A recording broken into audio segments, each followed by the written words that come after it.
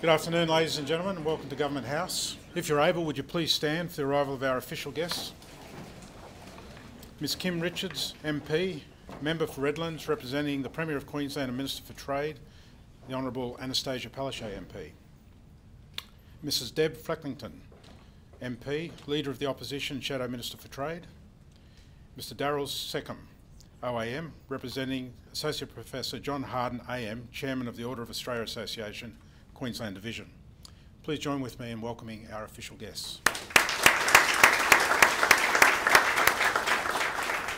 Thank you, ladies and gentlemen. Please be seated.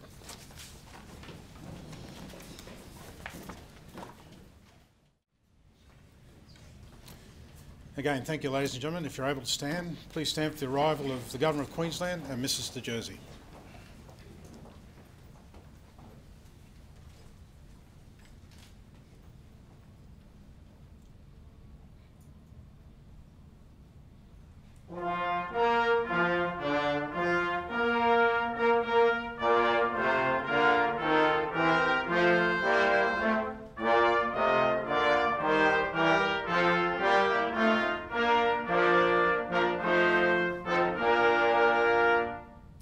Thank you, ladies and gentlemen. Please be seated. Your Excellency, with your permission, I'll begin. His Excellency the Governor will present the following Australian Honours and Awards. Appointed an Officer of the Order of Australia in the General Division, Mr Thomas Charles Mould. For distinguished service to youth, particularly through charitable awards programs and to public administration and education through organisations including the Duke of Edinburgh Awards, Australia, the Queensland Department of Education, the Australian Education Union, and Sesame Lane Childcare Group.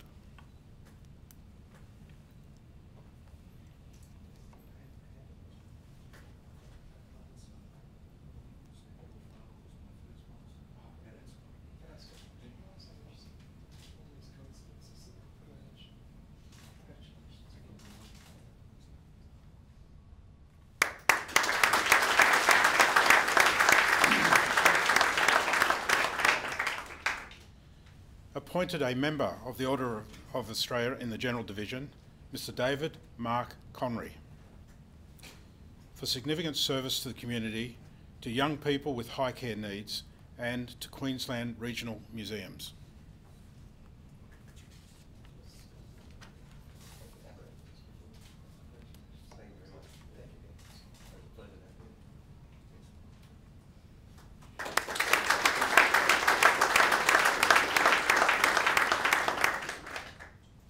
Dr Ian Douglas Galloway. For significant service to the museum sector, to historical preservation and to the environment, including as President, National Trust Queensland and Chief Executive Officer, Queensland Museum.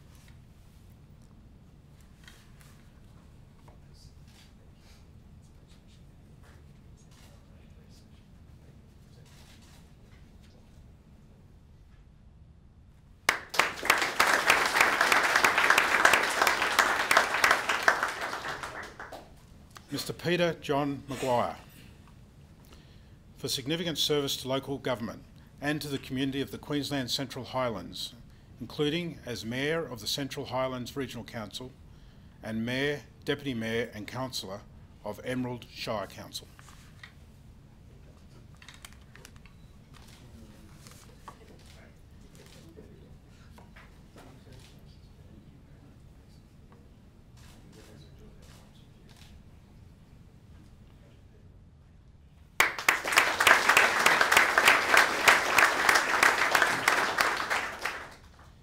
Professor Paul Edward Simshauser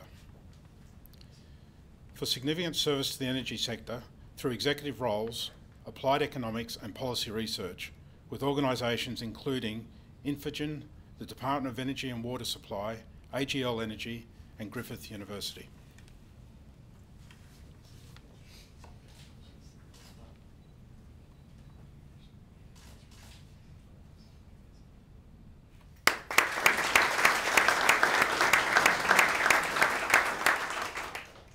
Mr Waverley Shane Stanley for significant service to the Indigenous community through support for education as founding director of the Yalari Indigenous Education and through the establishment of the Rosemary Bishop Indigenous Education Scholarship Program.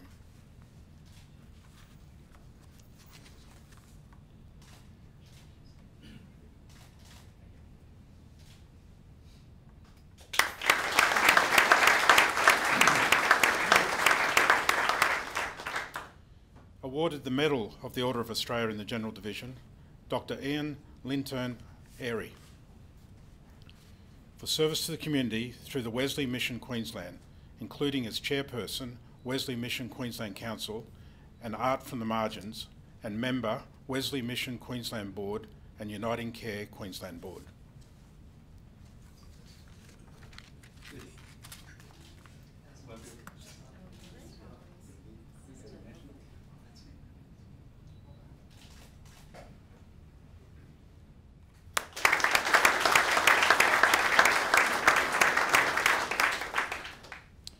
Mr. Carlo Antonio Campana.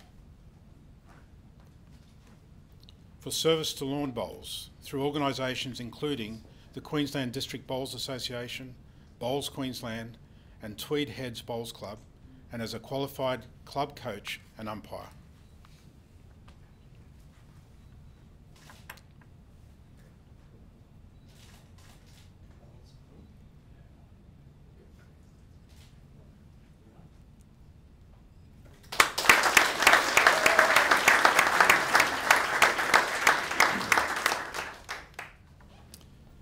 Mr Jeffrey Robert Elworthy.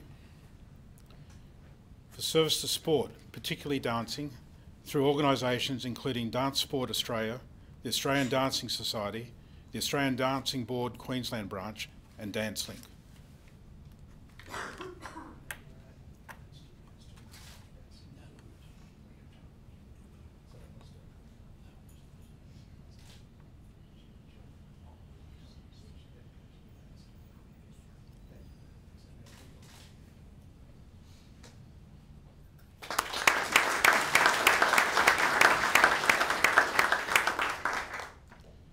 Mrs Mary Lou Gittins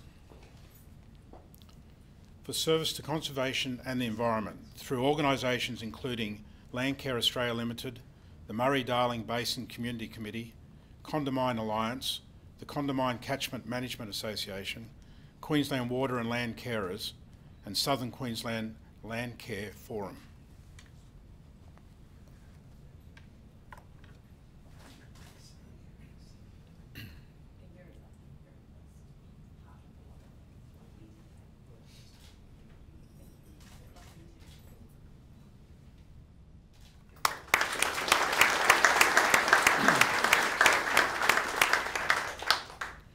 Mrs Lorraine Stacey Hatton. For service to the Indigenous community, including as Elder of the Nunukul tribe, as mentor and co-chair of the Queensland Aboriginal and Torres Strait Islanders Dedicated Memorial Committee.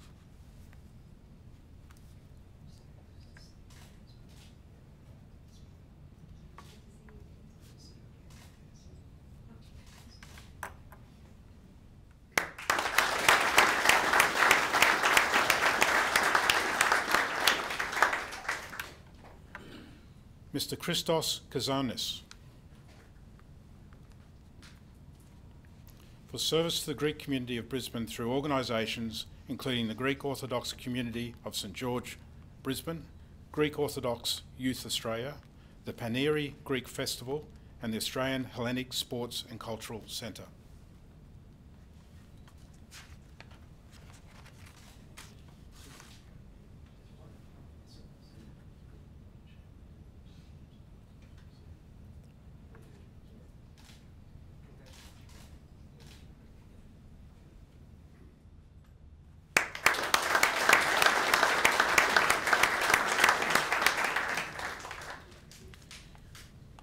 Mrs Ruby Carmel Lidlow. For service to veterans and their families through organisations including the Queensland Council of Ex-Service Women's Association, the Kedron Wavell Sub-Branch and the Pine Rivers Meals on Wheels.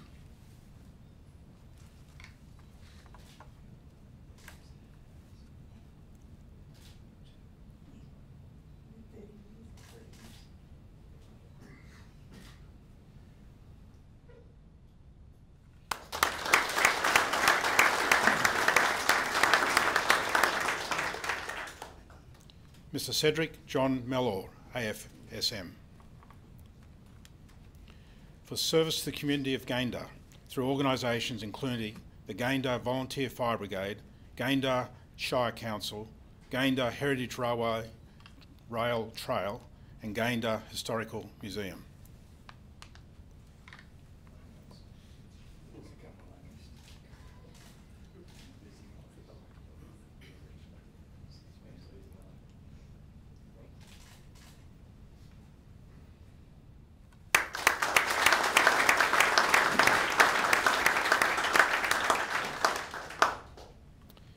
Mr Gary James O'Dwyer. For service to the community of the Tweed Coast through organisations including the Return and Services League of Australia, Pottsville and District Sub-Branch, Tweed Coast South Lions Club and the New South Wales Rural Fire Service.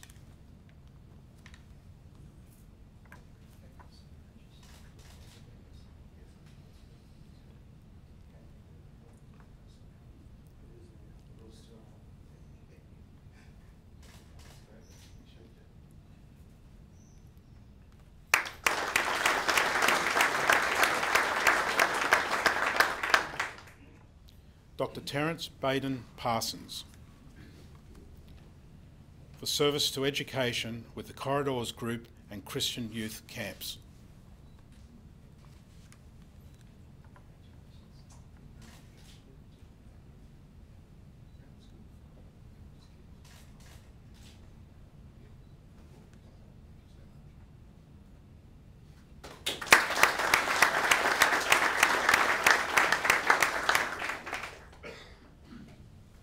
Mrs. Maria Teresa Stevenson.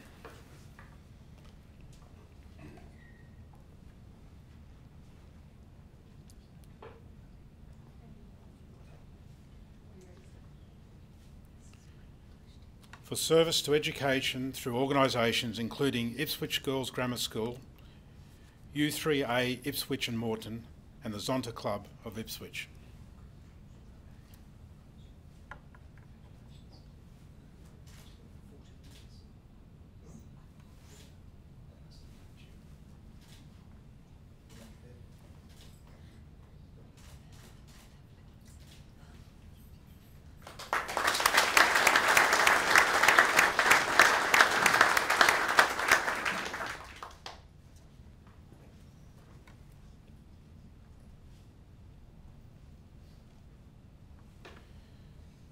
Mrs. Juliet Wright. For service to the community through charitable initiatives, including as founder and chief executive officer of GIVIT.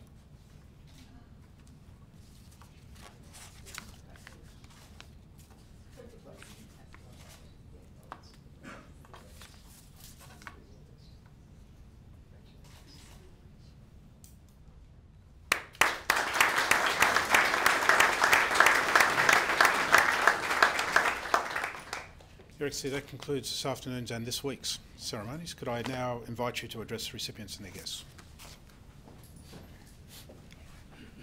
Ladies and gentlemen, girls and boys, I begin by acknowledging the traditional owners of the lands on which we gather this afternoon, the Turrbal and Yagara peoples, and pay my respect to their elders past and present, with encouragement to their young emerging leaders as well.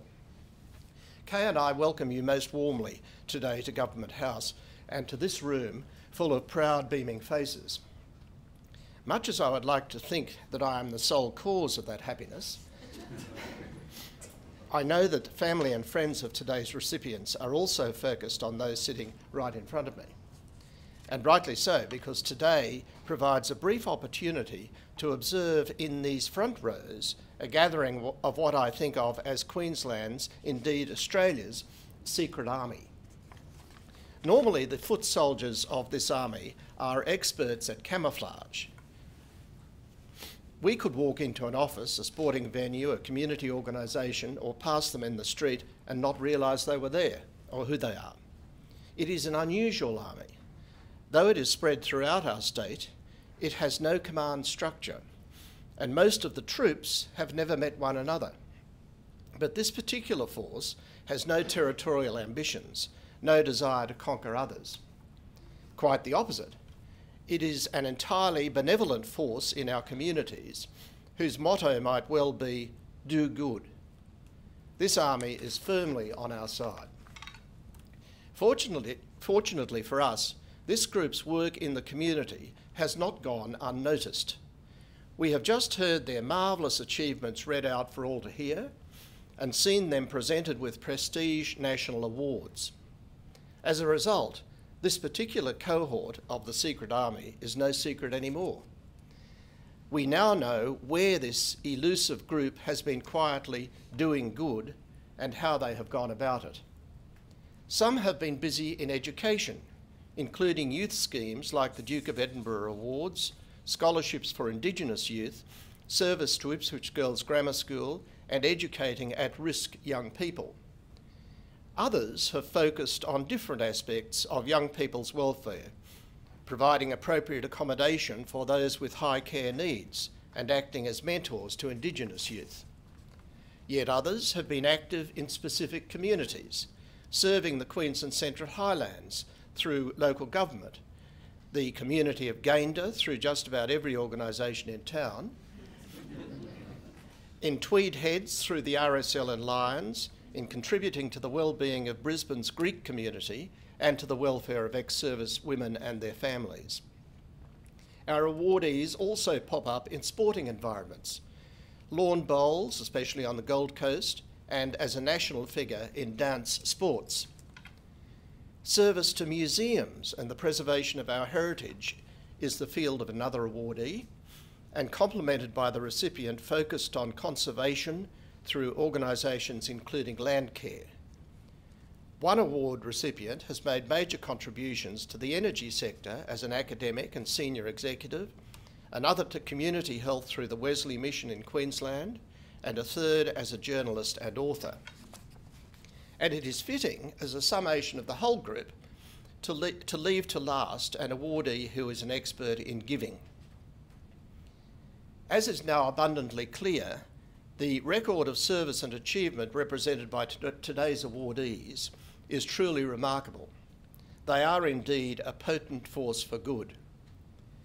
On behalf of the people of Queensland, Kaye and I offer our heartiest congratulations for the great honour done to today's awardees. We extend our heartfelt thanks for the tangible and positive difference you have made to the lives of so many others. Your army may not give out marks of rank, but you now possess marks of distinction of your own in the form of the highest honours that Australia bestows. Wear them often to inspire others. That way, this marvellous secret army will become a yet more powerful force for good in our community. Thank you.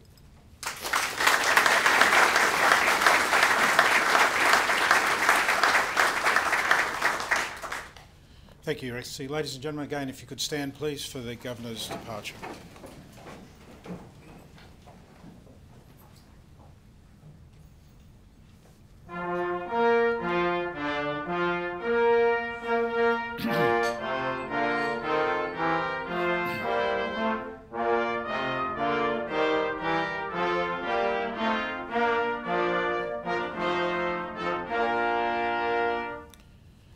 Your could I invite you and Mrs De Jersey to retire momentarily while we organise recipients for a photo?